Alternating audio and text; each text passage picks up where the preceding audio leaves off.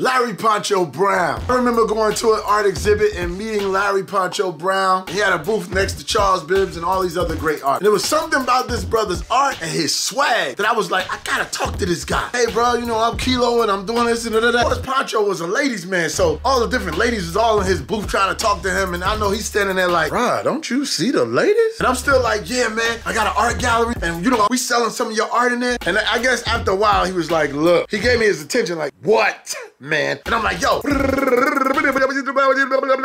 here's a shirt. I had a hand painted shirt. He was like, yo, thanks, bro. And I was like, yo, I get your contact so we can, you know what I'm saying, on some art, you know what I mean?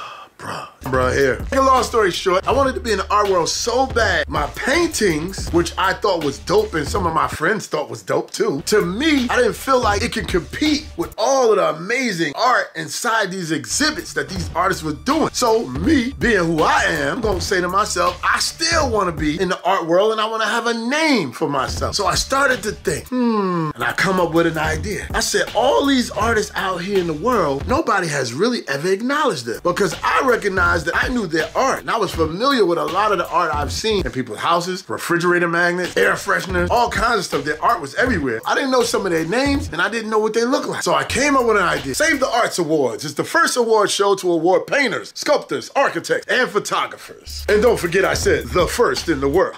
Put that on record. So when I did this first show, I asked some of the great of the greats to come. Larry Poncho Brown, Charles Bibbs, Leo Rucker, Annie Lee, and a whole lot more. And they came and it was in Greensboro, North Carolina. It was over 600 people in attendance. It was amazing. Everybody was there, was blown away. And my award, my award was bomb. It is the Grammys for the visual artist. Stop playing with your boy. And don't forget the name. It's called Save the Arts Awards. So a couple years later, Macho comes to me and he says, hey, I got this idea. So I'm like, well, what's the idea, bro? I want to do a documentary about all the artists from my era. What you gonna call it, bro? we gonna call it the golden age of African American art. So I said, well, what does that mean, bro? There's a period of time where African Americans were actually making money off the art. Because, you know, before that, a lot of the art that was done by African Americans, you really couldn't get it in your home. A lot of people took art like Basquiat and stuff like that. They took that art and they put it in museums, and we never saw it and we couldn't afford to see it or touch it. But then this golden age happened where not only could you actually own some of this art, but there was actually exhibitions where these artists were selling prints and posters and originals, and they were actually making millions of dollars. I asked Charles Bibbs, I said, Mr. Bibbs, I'm kind of nosy, right? How much money did you make in like a month? He told me, man, I made over $83,000 a month. I said, wow.